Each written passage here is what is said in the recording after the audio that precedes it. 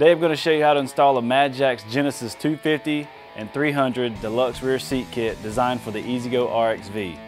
The difference between the 250 and the 300 is that the G250 is made of steel and the G300 is made of aluminum. Included in the kits is the footrest, the main bracket support bar, the bagwell support bar, the main brackets, the lean back brackets, and the hardware pack. Also, the cushions you selected, the grab bar, the bagwell bracket, and the main frame. We're going to use a 10 millimeter socket, a 14 millimeter socket, a 17 millimeter socket, a 17 millimeter wrench, a number 3 Phillips tip, and a cordless drill. Now let's get started. You'll notice in your hardware packs, we've included rubber washers. These washers are designed to go anywhere that you contact metal with the flat washers to help avoid powder coat chipping. Before we begin installing our rear seat kit, we're going to remove our factory top. We're going to take a 15 millimeter socket wrench and remove all six bolts and retain.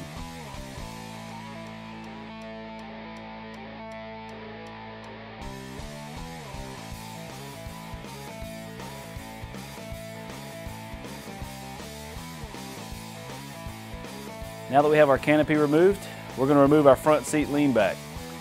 We're going to remove and retain the four bolts that go into the back of the seat kit on each side of the sweater box with a T45 bit.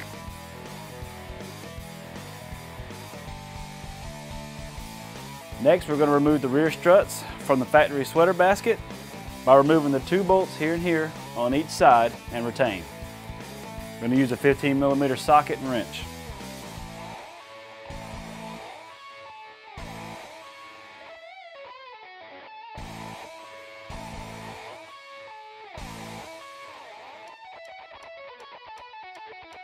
Now we're going to remove our sweater basket. You also notice that we have taken off our motor cover temporarily and we've also removed our tire well for video purposes only. We're going to remove and retain the two factory bolts that hold the sweater basket to the frame using a 15 millimeter socket.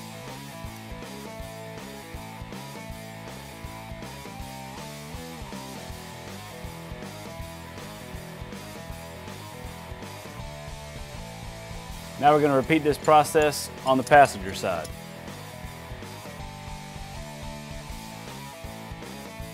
Now that we have our sweater box removed, we can now install our main brackets. This is the driver side main bracket. The short end goes towards the back of the cart. The plate goes towards the outside of the cart. We're going to slide this back in the same spot that we removed our sweater basket from and attach it using the retained hardware.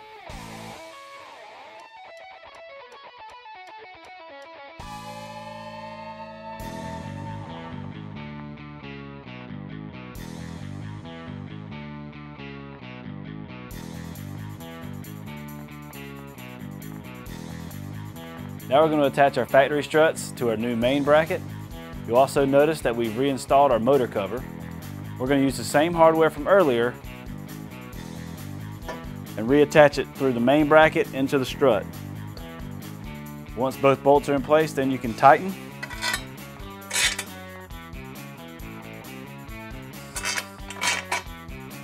You'll notice that the driver's side strut points towards the outside of the cart and then comes back up.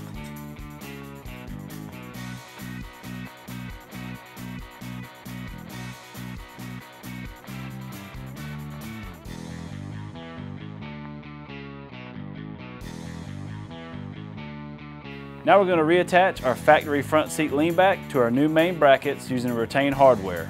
Once this is done, you can also reattach your canopy.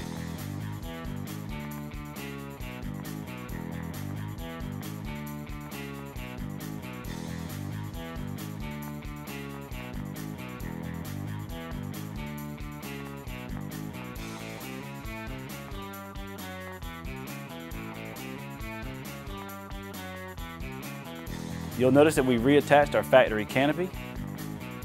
Now we're going to attach our main bracket support bar using the 10 by 50 millimeter hardware. The main bracket support bar is L-shaped with two tabs. These two tabs point towards the rear of the cart. The bracket mounts to the main bracket at the bottom using the 10 by 50 millimeter hardware.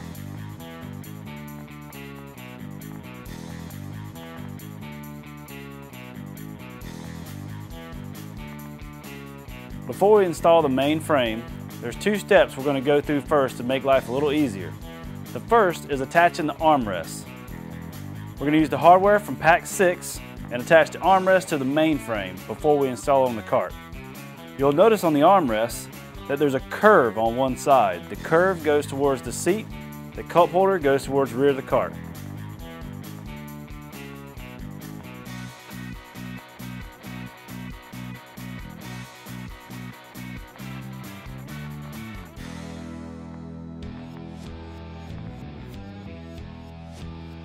The next thing we're going to do before we install our main frame is attach the bagwell brackets to the bagwell bracket support bar using the hardware from pack 5, countersunk number 3 Phillips bolts, and tighten.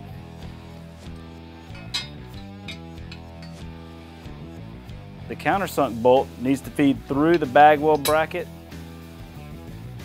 like this. That way the bumper will slide in between the bagwell bracket and the support bar.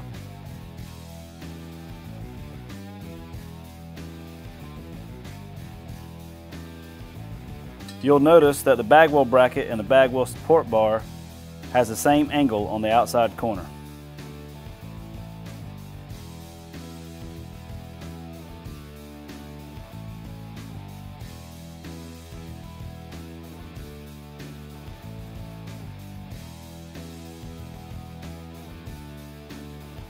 Now ready to attach our bagwell bracket to our golf cart, but first we're going to remove the two factory bolts here and here, but do not retain.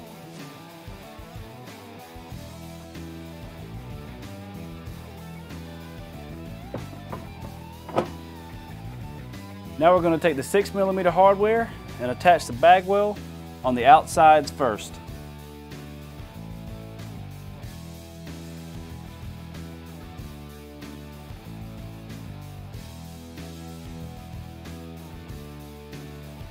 Now we're going to use our 10 millimeter hardware and our 2x2 square washer and secure the center of the bagwell bracket to the cart.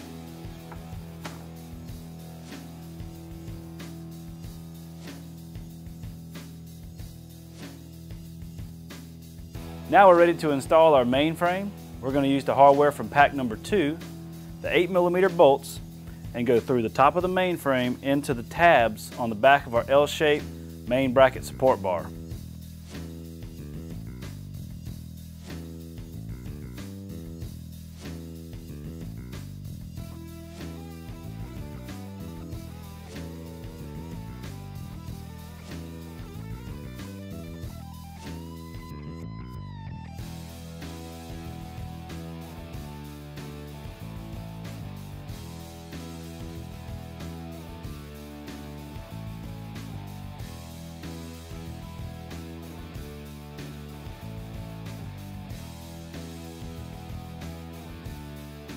Now we're going to attach our footrest to our bagwell brackets using the hardware from pack 7.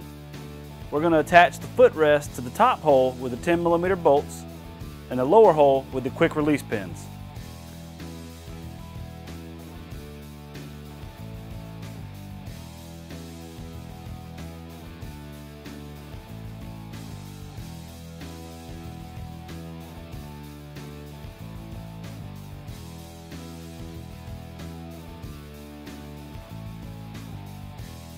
Now we're going to attach the grab bar to the footrest, but this time we're going to use a quick release pin at the top and the 10 millimeter hardware at the bottom.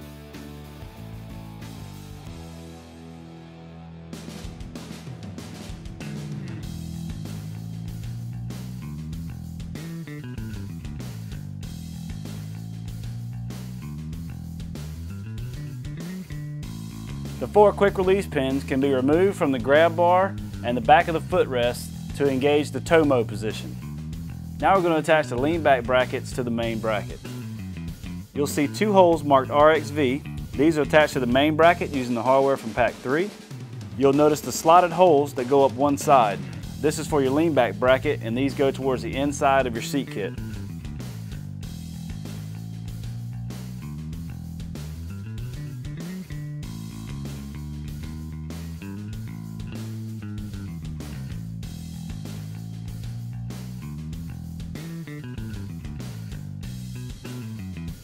Now we're going to attach our lean back cushion to our lean back brackets using the hardware from pack number 4. You'll notice the slotted holes. These are so you can set your cushion at your desired height.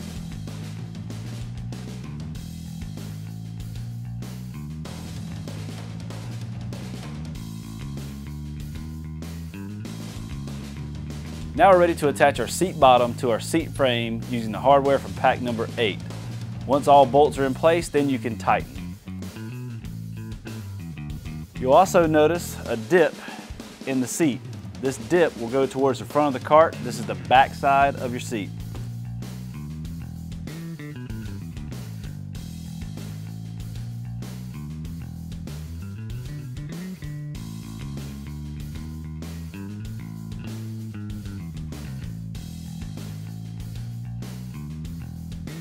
Now that we have our seat cushion attached, you're now finished installing your Madjax Genesis 250 and 300 Deluxe Rear Seat Kit designed for the E-Z-GO RXV.